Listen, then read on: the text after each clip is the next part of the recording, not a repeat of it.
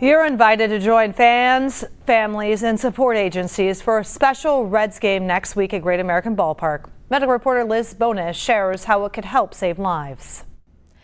Hey there, everybody. This Wednesday is Overdose Awareness Day, and at Great American Ballpark, those tossing and catching the first pitch know what it takes to not just get in the game, but stay there.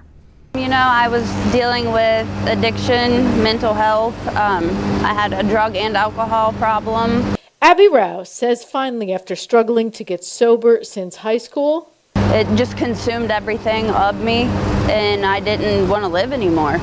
This team from Greater Cincinnati Behavioral Health Services. I wanted help, but I didn't know how to go about that.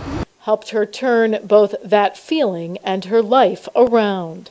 Now more than two years sober, Abby and Earl Redding, who's overcome homelessness, met us at Great American Ballpark because at Wednesday's overdose awareness game here, I'm going to be throwing the first pitch. Abby will be there to catch it.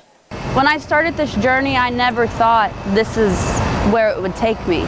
But since any thousand mile journey always begins with the first step, thousands of fans and dozens of support programs will be at the game to let others know Abby and Earl's journey back to recovery is possible for you or someone you love too.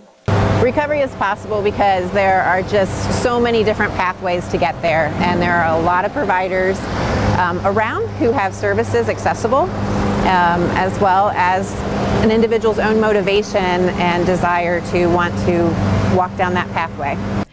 We do have a ticket link to this game at local12.com. Just click inside this story.